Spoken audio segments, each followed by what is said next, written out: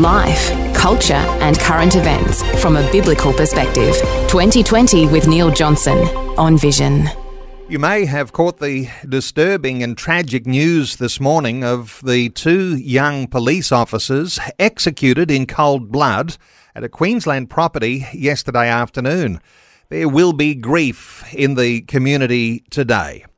Uh, some names Constable Rachel McCrow, 26, and Constable Matthew Arnold, 29, were gunned down at the property near Chinchilla in the Western Darling Downs.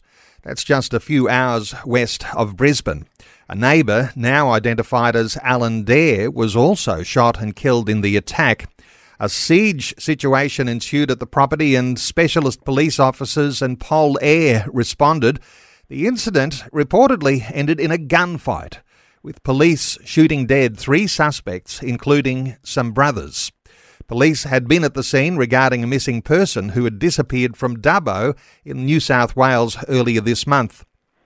Well, you might be wondering what's happening on the ground in Chinchilla today. Lee Dallman leads the Country Hope Church in Chinchilla. Uh, he's on the line with us. Hi, Lee. Welcome along. Hi, thanks a lot.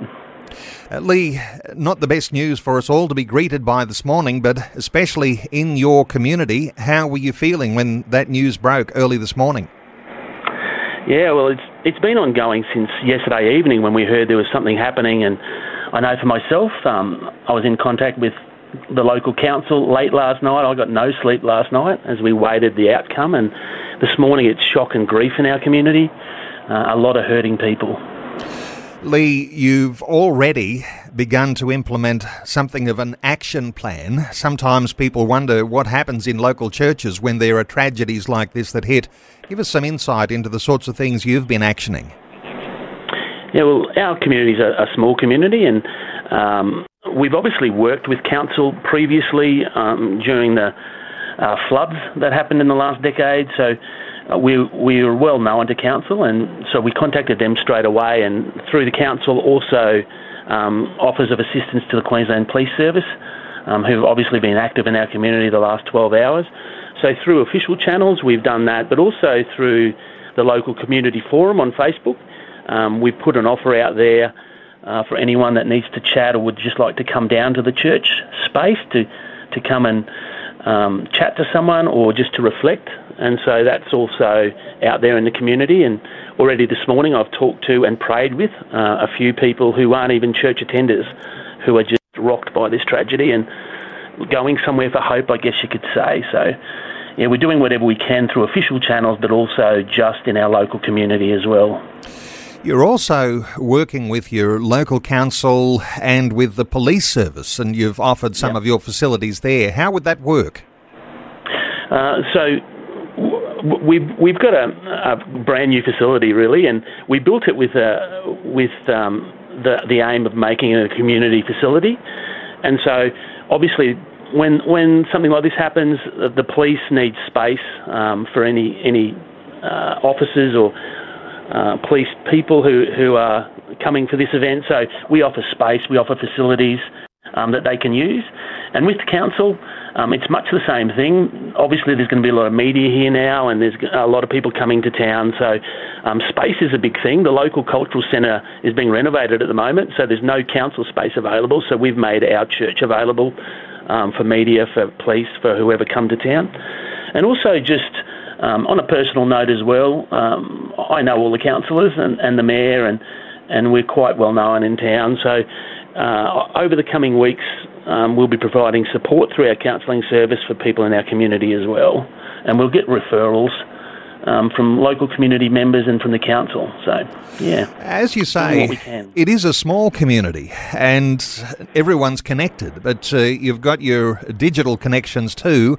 Uh, you've even yeah. got a, a, community forum that's happening there for uh, those yeah. community members might be concerned, being able to connect with, yeah. with you on Facebook. Yeah, definitely. Uh, our local community forum is a big part of our town. Uh, any events that are happening, well covered in the community forum, and most people are part of that.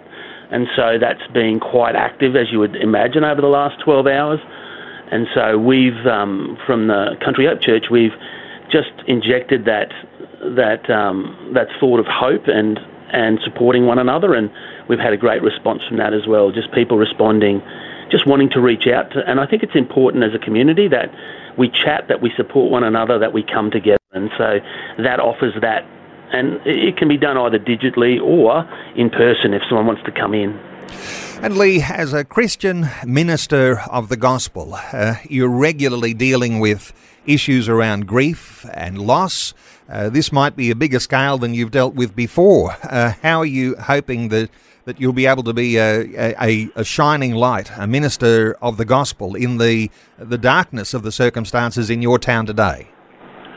I think for us, um, we've actually had a few uh, tragedies in our town in the last 12 months, and so this is yet another one. It's probably bigger uh, when it, with regards to media and stuff, but I actually did a, a funeral for a soldier who died in Afghanistan 10 years ago, and that was bigger than this. So um, handling the media and, and also in the community, um, reaching out to people, it's just what we do. And so we're prepared to do whatever we can to reach people and to offer hope. Uh, well, Lee, if you don't mind, uh, let me pause and uh, perhaps say a prayer for you and for the Chinchilla community. Is that okay? Yeah, that's that's great. Thank you. It's appreciated. Well, thank you, Lord. We'll humble our own hearts, and even in the midst of tragedy, uh, Lord, we'll call upon you, your strength and your empowerment, your love to be embracing every member of the Chinchilla community, asking, Lord, for your special inspiration and ability and, uh, Lord, a, vitality in Lee as he approaches the day ahead, as he communicates with the Western Downs Regional Council and is in communication with the police service as his church is opened uh, for people who are grieving today. Asking, Lord, for your special blessing to come upon Lee, for that strength and that encouragement for the entire Chinchilla community. In Jesus' precious name we pray. Amen. Thank you. Thank you very much. And we appreciate the prayers of everyone around Australia who's listening today. Uh, Lee Dallman is the pastor in Chinchilla at the Country Hope Church. Lee, thank you so much for sharing your heart with us today on 2020. Thanks for taking time to listen to this audio on demand from Vision Christian Media. To find out more about us, go to vision.org.au.